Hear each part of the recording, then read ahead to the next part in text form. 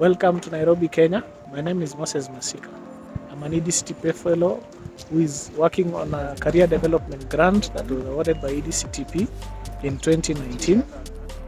So before the COVID-19 pandemic struck, I was looking at uh, mosquito-borne viruses in patients who present with fever in various facilities in Kibra, which is an informal settlement in Nairobi.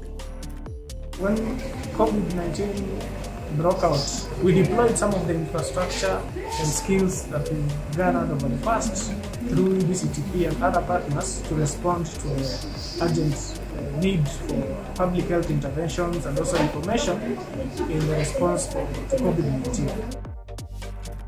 What we did at the time was to initiate a COVID-19 study in different hospitals in which we collected data and different samples from patients who have COVID-19 and this has helped us to identify the clinical presentation of COVID-19 as well as viral shedding in different body fluids.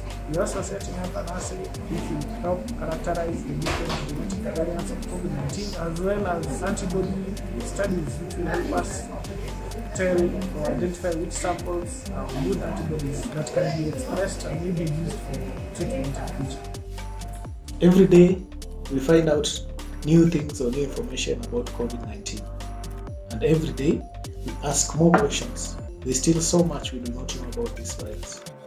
We shall continue to study the virus because for us, every new information that we can find is useful in the response against COVID 19.